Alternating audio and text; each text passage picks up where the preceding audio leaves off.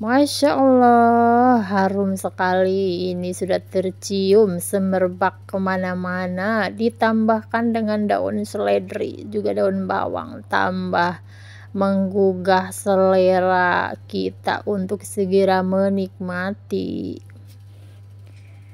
Assalamualaikum, jumpa kembali di dapur SN. Apa kabarnya sahabat semua? Semoga selalu dalam keadaan sehat walafiat. Amin. Hari ini aku punya menunya sayur sop. Sayur sop tahu, wortel, juga kembang kol ya. Menu sehari-hari. Bahan-bahannya mari kita simak. Di sini sudah saya siapkan ini bahan-bahannya ada wortel, buncis, kembang kol. Nih saya rendam dulu ya pakai air bersih. Ada juga di sini ayam filet atau ayam dada. Tahu satu buah. Ada lada bubuk bumbunya. Ada bawang goreng. Ini ayamnya nanti dipotong-potong, tahunya juga dipotong-potong. Menurut selera saja. Kita mulai potong ayam filetnya di sini ya. Kita iris memanjang dulu. Setelah diiris memanjang lalu saya potong dadu seperti ini ya atau menurut selera sahabat semua. Setelah selesai memotongnya, di sini saya pindahkan ke tempat dulu untuk dimasak. Nah, ini airnya sudah mendidih, saya masukkan. Tutup sejenak.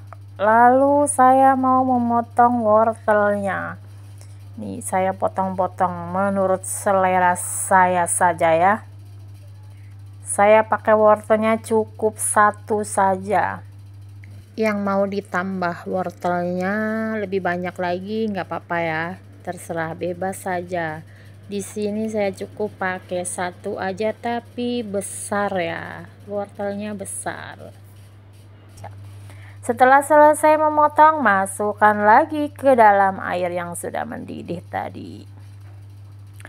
Lanjutnya di sini saya memotong tahu. Di sini saya bagi dua tahunya.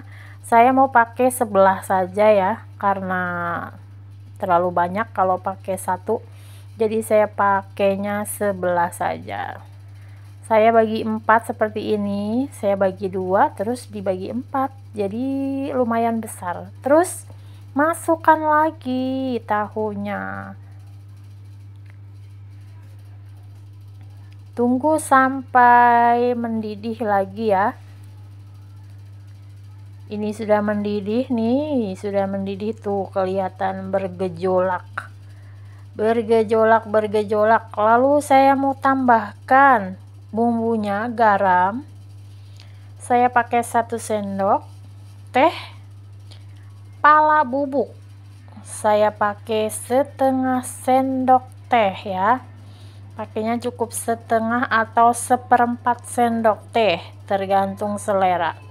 Bawang putih bubuk saya pakai juga seperempat sendok teh. Atau menurut selera sahabat semua. Lada bubuk juga saya pakai di sini pakainya setengah sendok teh. Penyedap rasa atau kaldu bubuk saya pakai setengah saset dulu ya. Nanti kalau dicicip atau dirasa-rasa kurang baru ditambahkan. Gula putih atau gula pasir saya pakai satu sendok atau menurut selera. Kita tutup kembali supaya larut bumbunya. Kita masukkan kembang kol juga buncis ya. Kita masukkan di sini terus kita aduk-aduk supaya mencampur supaya si buncis dan si kembang kolnya matang kita tutup sejenak dan ini dia sudah mendidih, nampaknya sudah matang. si kembang kol. Kita masukkan daun bawang juga seledri di sini ya. Saya cukup pakai satu batang tapi besar ya. Karena masaknya cuma satu panci kecil jadi tidak membutuhkan banyak. Kita aduk di sini, kita bolak-balik sejenak supaya matang ya.